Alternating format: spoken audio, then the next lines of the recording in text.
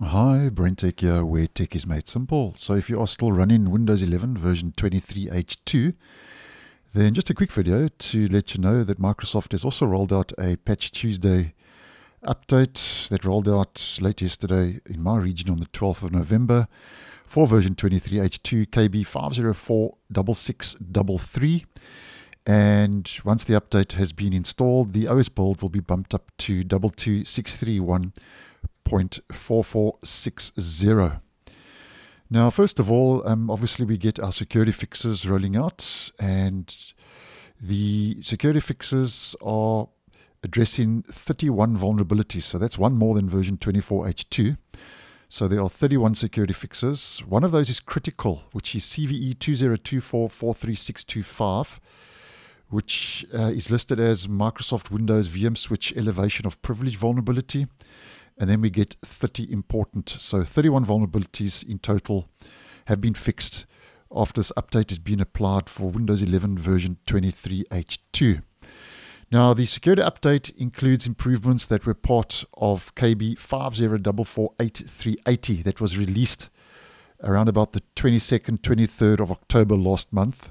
And that was the optional bug fix C release update for Windows 11 23H2. And um, I'll do a quick recap because I did post a video on the new features and bug fixes that did roll out. I'll leave that link down below in the end screen. But just a quick recap. The All Apps is now renamed just to All, as we can see. It also starts the rollout of the new gamepad uh, keyboard layout for the on-screen keyboard if you have an Xbox controller. You can also now stop the suggestions to turn off notifications from certain apps.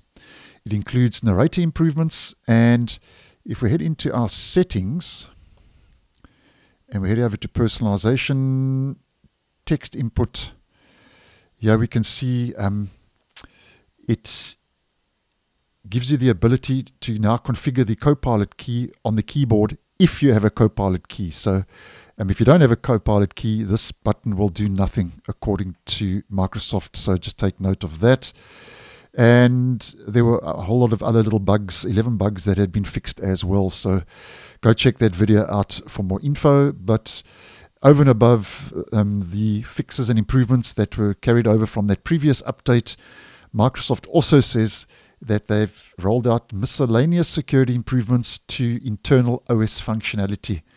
They don't give us any more information over and above that. So, a lot of security updates, obviously, with this latest Patch Tuesday update for Windows 11 23H2 KB5046633. So, thanks for watching, and I'll see you in the next one.